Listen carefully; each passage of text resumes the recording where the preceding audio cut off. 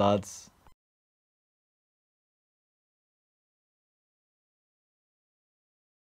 Morning gang gang, what a nice day. I don't think I've actually ever seen like blue skies in a very, very, very long time. Now, getting in there, Mer Mercedes. It's a Mercedes. When the uh, gearbox is like really cold, like now, so to say, it's like, until it warms up a bit, it's like so clunky. Like, see, I've put it in reverse now. See how it like jumps a little bit? Like, that's not that bad. Sometimes it like proper kicks you back. They said they were going to change under warranty, but not heard anything from them, so I actually need to ring them today. But to love the day, boys. I actually hope it starts warming up soon. Can't wait for the shows to get back into it. Uh, and it's also better for you guys when shows start happening. I can give away more free tickets and more free shit and all this and that. But there's just nothing going on at the minute. And literally, as soon as I've said that, an engine manager light's just come on the car. Like, what the hell? So yeah, scrap that. I'm taking it back to the garage right now, so you guys come with me. Uh, so yeah, guys, I went in, listed all the problems, and they're gonna buy it back off me. Uh, so I do not have a Merc anymore, and I do not have a daily. What am I gonna do? I'm gonna have to borrow mum's car or something. But I'm going home now just to empty all the stuff out the car and to get the rest of the documents. Now it turns out that they actually never sent me the logbook in the first place, which is always cool because now I'm gonna have to do a very awkward way of um, sorting the tax out. But it was uh, it was pretty nice. I genuinely thought I would have to be getting on the phone to Will's lawyer, and I genuinely thought I'd have to be going in and like trying to, you know, force them to take the car back in a way. But they were very they were very kind about it. They basically just said, "Yeah, it's fine. You know, we'll, we'll just buy it off you and just refund you whatever you paid." So a very simple process. A bit annoyed. I do actually like the car. Like I am annoyed, but end of the day, it's although it's a cheap, it's a cheap E class, like it is a cheap E class.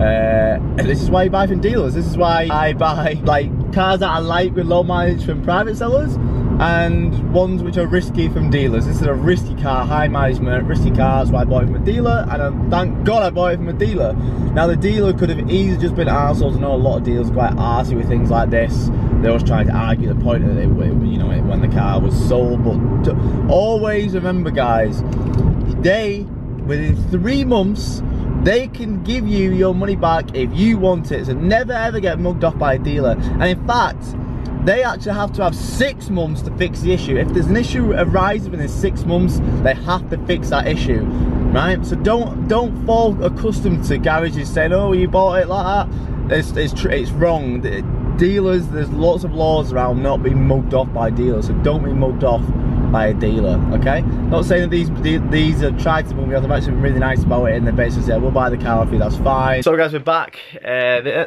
they took the car, uh, they was quite nice about it. Um, they're going to pay me back my deposit, which is a thousand pounds, and then they're going to give me. Uh, they're going to they're going to settle finance figure.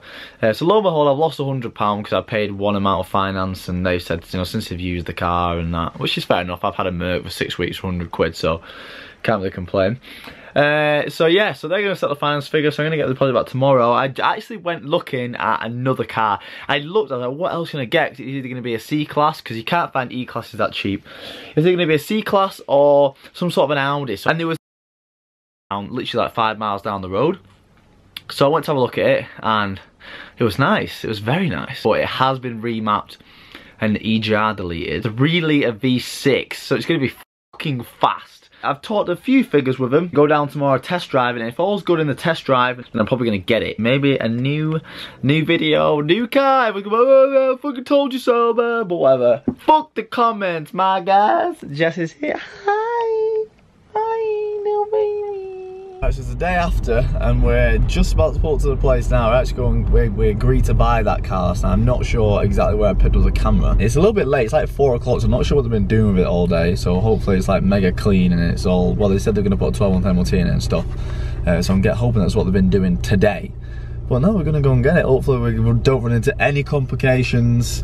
Um, it's been quite stressful trying to get this one too fair. Well, it's just me. I'm just a very stressful guy. Like I make things which aren't that stressful and I turn them into very stressful situations. But yeah, anyway, let's go and get a car. But it's England, so obviously we're starting fucking traffic. Now the patrons do know exactly what we've been looking at, and uh, the, the, patrons know what car it is and everything. So uh, yeah, for the patrons, it's not going to be a surprise. But I don't think I've shown anyone else yet, or even said. But patrons on that. So we just pulled up now. I'm not going to show you guys just yet.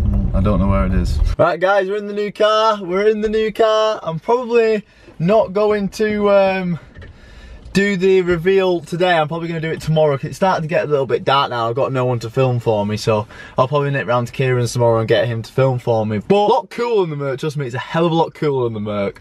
Uh, and and the good thing about this is the Merc was never owned by me. It was always owned by a finance company because I didn't I never planned to do any mods on it. This is actually owned by me and we're going to do mods to this car. So it's actually a fast car. Like, it's not a slow car. It's not a slow, boring, pretty boy car. It's a fast car. So yeah, I'm going to nip to Halfords because I just want to ask uh, Dan, the guy I used to work with, uh, I, want, I wanted to ask him about like, the Bluetooth and stuff because it's not actually got Bluetooth at the minute and it's only got like an SD card thing. So I kind of want uh, USB. I've been Googling it uh, and apparently there was something in the glove box, but I couldn't really find it. But I'm going to go down to see, to see Dan, see if he can help me out with some sort of audio because we need the tunes, boys. Okay, quick update. The stereo system is wank. it's absolutely wank. Good morning. It is actually three days after I bought the car. Uh, I couldn't film it Saturday. When, well, when I picked it up, it was just too dark to do the reveal, so I didn't do it. Saturday I was busy, uh, Sunday I was busy, so today is Monday and we're doing it now. I've had the car a few days, uh, so it's actually really dirty, so just forget about that, but it's actually better like that because we're going to be doing something quite uh, drastic with the, in terms of paint, so don't worry about that. But I've been driving it. When I first picked it up, I liked it, uh, but I didn't really love it. I was like, oh yeah, you know, it's a cool car, you know, it's, it's sick. Now after driving for like three days, I absolutely love this car. I really do like it. Like, admit, I'll admit it's uh, not as specced up as the Merc, but it's a hell of a lot faster than the Merc and it drives. So anyway, let's just pan into the car. I'm sure a lot of you already guessed from the seating positions and things like that. Uh, so let's show you the car. Well, well, well. Then we're going to talk about what I like, what I don't like, what's changing, and how this is going to be totally different than right? So let's pan to the new, not named yet, but let's pan.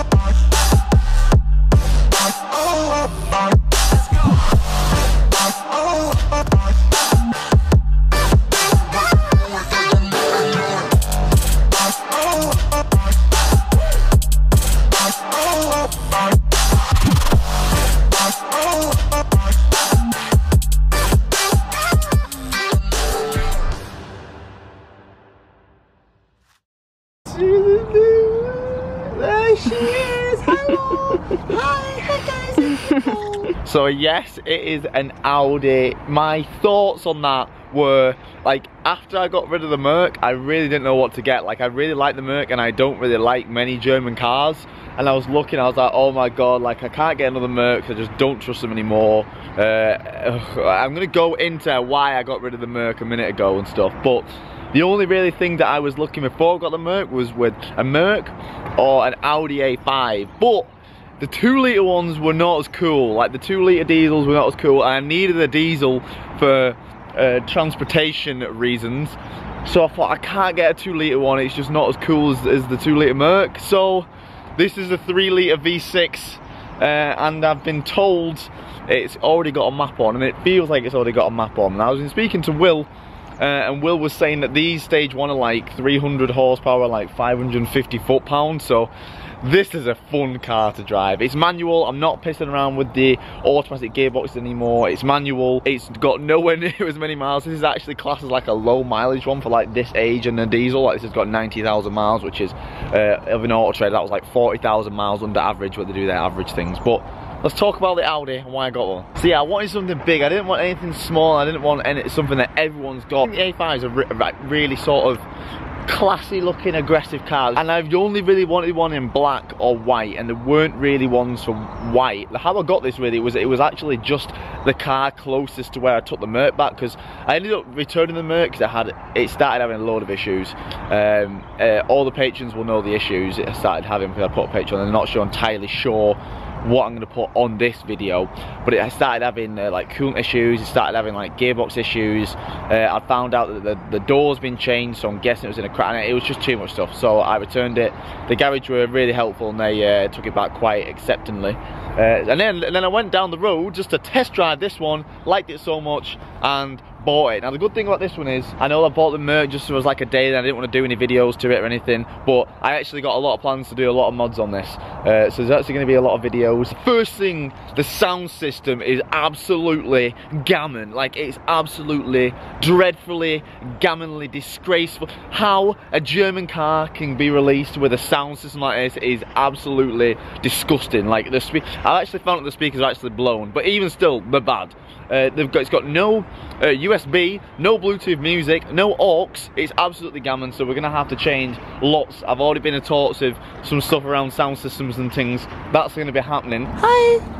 Hi. Yeah, so it's the it's the Quattro one as well. So we've got all-wheel drive back again, which is kind of cool and kind of not cool. And it's got uh, electric handbrake, which is me, a bit gammon, but you know, we can't really man handbrake terms, that's fine. Good thing about this is like, I genuinely thought like, since it's been mapped and it's a three litre, it get terrible fuel economy. Don't get me wrong, it does get ter terrible fuel economy around town, but like on the motorway it still gets like 50 to the gallon, so it's absolutely perfect. So here we are in the A5. It's nowhere near as respectable as the Merc. Like, it's absolutely nowhere near as respectable as the Merc. It is like three years older. Not even that, two years old. It's two years older than the Merc, and it feels like at least like five years older than the Merc.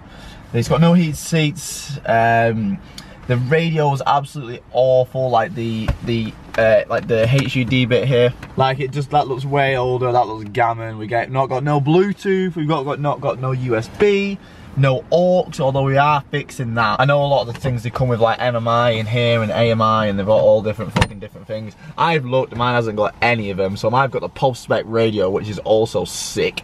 Um, both of these door car speakers, I just thought I just thought it was just that bad quality. They're actually blown. Took it to an audio shop and they said they're like they're, the speakers are actually like full on ripped. It sounds like what's them like um do you know when you're in high school and you have and, and you get them two little wooden uh,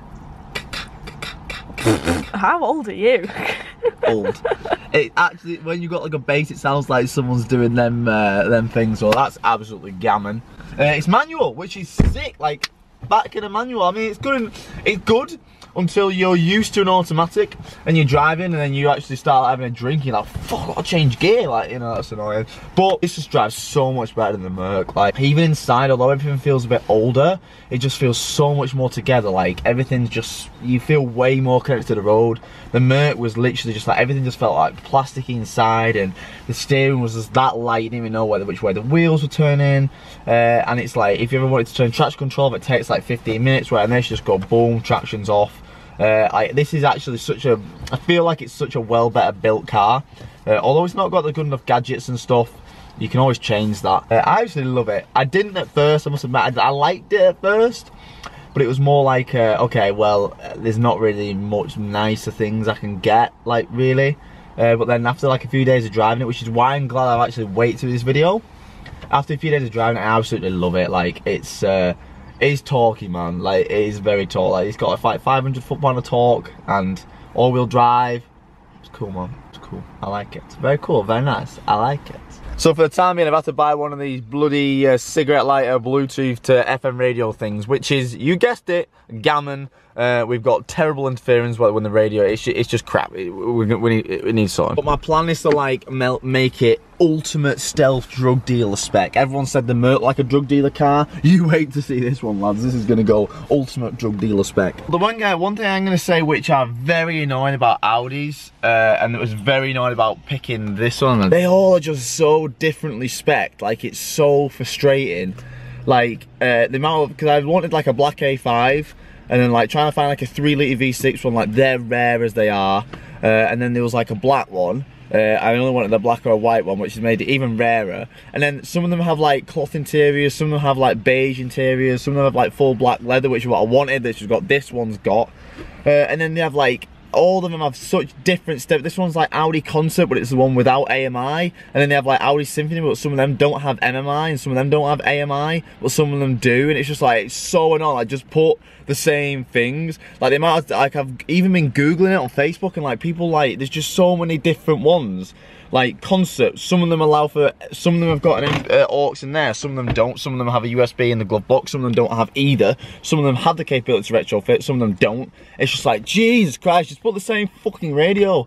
It's just, it's it's just going back to that German thing of like making money off options. And although it's a good business idea, it is very frustrating when you're trying to buy one second hand. So yeah, this is the new whip. I hope you uh, hope you enjoy it. I know that I. Uh, went through a phase of wanting something German a little bit posher and I did do that. And uh, don't get it wrong it was nice having it uh, but it's also I think I went a little bit the other way where it was just uh, going away from my roots of actually owning the car and modifying it. Now I feel like with this one I've gone like the best of both worlds. I have still got that German classy look which is why I bought the Merc in the first place in terms of business meetings and to go on long distances and have a nice cruise and stuff. Uh, but I feel like this one I still do that but I can also modify this make it better and, uh, and you guys can enjoy it as well as I can enjoy it. So I think it's I think that's important. Whereas the Merc it was just something where it was just for me. It weren't really even owned by me. It was just to uh, look good for business meetings and stuff now this has got the best of both worlds. I can still do that, but I can also have fun, modify it, and put my foot down. So I hope you enjoy it. I hope you like this one. I'm pretty sure this is going to be uh, a lot better received than the Mercedes. But yeah, now I need to think of a name.